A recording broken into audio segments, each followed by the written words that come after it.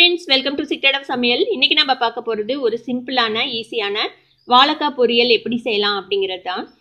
இந்த வாழைக்காய் பொரியல் வந்துட்டு ரசம் சாதம் தயிர் சாதம் எல்லாத்துக்கும் சூப்பராக இருக்கும். வெரைட்டி ரைஸ் கூட வச்சு சாப்பிட்றதுக்கு ரொம்ப நல்லா இருக்கும். சரி வாங்க இந்த வாழைக்காய் பொரியல் எப்படி செய்யலாம் அப்படின்னு பார்க்கலாம். இன்றைக்கி நான் ஒரு வாழைக்காய் எடுத்திருக்கேன். இந்த மாதிரி தோல் சீவிட்டு நான் வச்சுருக்கேன். இப்போ இதை வந்து நம்ம ஸ்கொயர் ஸ்கொயராக வெட்டி இந்த தண்ணிக்குள்ளே போட போகிறோம் நான் இன்னைக்கு கொஞ்சம் சின்ன சின்ன ஸ்கொயர்ஸாக வெட்ட போகிறேன் உங்களுக்கு எந்த அளவுக்கு வேணுமோ அந்த அளவுக்கு வெட்டிக்கலாம். இது கொஞ்சம் பெருசாக போட்டிங்கனாலும் நல்லா தான் இருக்கும்.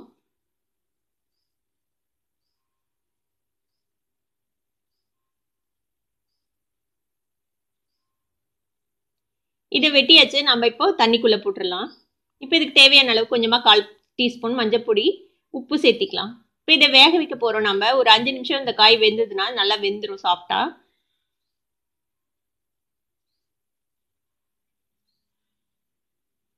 ஃபைவ் மினிட்ஸ் ஆச்சு இப்போ பாருங்கள் நம்மளோட வாழைக்காய் நல்லா சாஃப்டாக வெந்துச்சு இப்போ ஒரு காய் எடுத்து நீங்கள் நசுக்கி பார்த்தீங்கனாலே தெரியும். நல்லா வெந்துருச்சு நம்மளோட வாழைக்காய் இப்போ இந்த தண்ணியை நம்ம ட்ரெயின் பண்ணிடலாம். இங்கே பாருங்கள் நல்லா ட்ரெயின் பண்ணி எடுத்தாச்சு. இப்போ ஒரு கடாய் வச்சுருக்கேன் அடுப்பில். இது வந்து தாளிக்கிறதுக்கு. ஒரே ஒரு டீஸ்பூன் அளவுக்கு எண்ணெய் விட்டுக்கலாம் அதில். கொஞ்சமாக கடுகு போட்டுக்கோங்க. இப்போ கடுகு வெடிக்குது. கொஞ்சமாக கடலைப்பருப்பு கொஞ்சம் உளுத்தம் பருப்பு சேர்த்திக்கலாம். நான் தாளிக்கிறதுக்கு வந்துட்டு ஒரே ஒரு பூண்டு பல் நசுக்கி வச்சுருக்கேன். அது போக கொஞ்சமாக வெங்காயம் கருவேப்பிலை பச்சை மிளகாய் வச்சுருக்கேன். இப்போ அதையும் இதில் சேர்த்திடலாம். வாழைக்காய் வந்து வாய்வு. அதனால் அந்த எஃபெக்டை வந்து ஆல்டர்னேட் பண்ணுறதுக்காக நம்ம கொஞ்சமாக பூண்டு சேர்த்திக்கணும் எப்போதுமே. பூண்டு பெருங்காயம் ஏதாவது சேர்த்திக்கணும். நான் இன்னைக்கு பூண்டு சேர்த்திருக்கேன். இப்போ நல்லா வதங்கிச்சு வெங்காயம். இப்போ இதில் நம்ம வேக வச்ச காய் சேர்த்திடலாம். இப்போ அதையும் நல்லா வதக்குங்க. நம்ம வேக வைக்கும்போது உப்பு போட்டோம். இது கொஞ்சம் உப்பு பத்தலை. அதனால இன்னும் கொஞ்சம் உப்பு சேர்த்திக்கலாம்.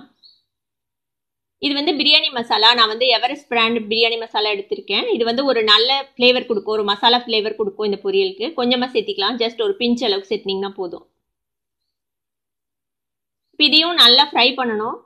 இந்த மசாலா வந்து இந்த காயோட நல்லா மிக்ஸ் ஆகணும். அது வரைக்கும் நல்லா ஃப்ரை பண்ணிக்கோங்க. ஒரு ஒரு நிமிஷம் பக்கமாக நல்லா வதக்கிக்கோங்க.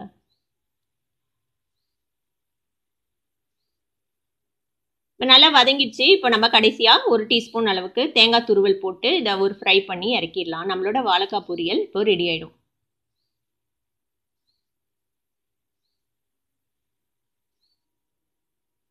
இந்த வாழைக்காய் பொரியலை உங்கள் வீட்லேயும் ட்ரை பண்ணி பார்த்துட்டு எப்படி இருந்தது அப்படின்னு எனக்கு கமெண்ட்ஸில் ஃபீட்பேக் கொடுங்க. இந்த வீடியோ உங்களுக்கு பிடிச்சிருந்ததுன்னா சப்ஸ்கிரைப் பண்ணுங்கள் பக்கத்தில் இருக்கிற பெல் ஐக்கானை கிளிக் பண்ணுங்கள் அப்போ தான் என்னோட நோட்டிஃபிகேஷன்ஸ் உடனே உங்களுக்கு வந்து சேரும். லைக் பண்ணுங்கள் ஷேர் பண்ணுங்கள் தேங்க்யூ ஃபார் வாட்சிங் this video viewers bye bye